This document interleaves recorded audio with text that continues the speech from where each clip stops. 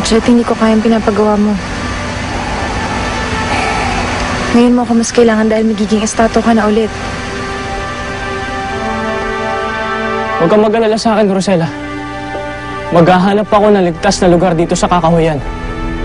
At doon, maghihintay ako hanggang sa lumubog ang araw. Hanggang sa maging tawa ko muli.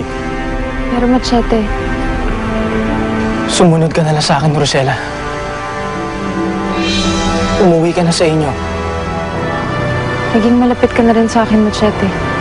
Ayoko may masamang mangyari sa'yo. Rosella, buo na ang pasya ko. Hindi na kita maaaring isama pa. Sige. Kung yan ang desisyon mo, tatanggapin ko. Pero hayaan mong samahan kita sa isang ligtas na lugar. Gusto ko malaman kung saan kita pwedeng balikan bukas pag sumikat na ang araw. Ako.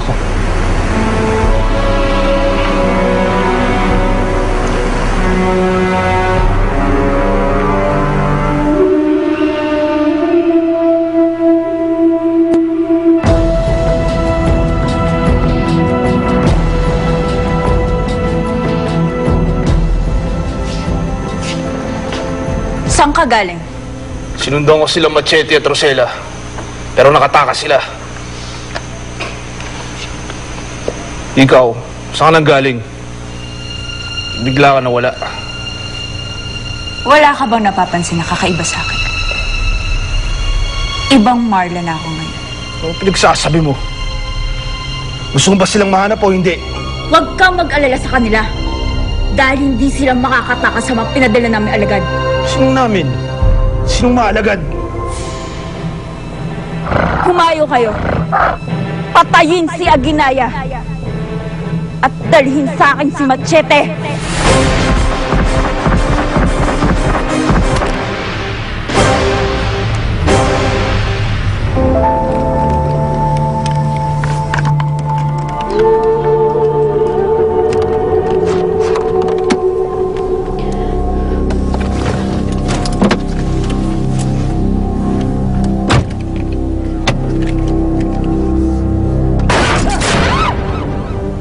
Tamang-tamang lugar na to, Machete.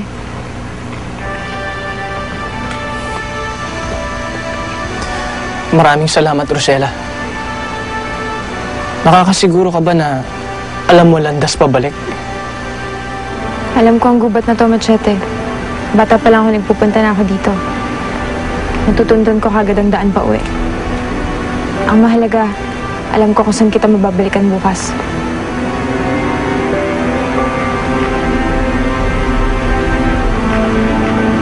Mo na akong balikan bukas, Rosella. Sapat na ang lahat ng naitulong mo sa akin. Nakapagpasya na rin ako na ako na lang mag-isa ang hahanap kay Aginaya.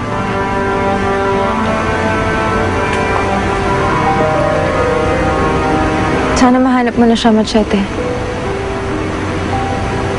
Sana mahanap mo na si Aginaya.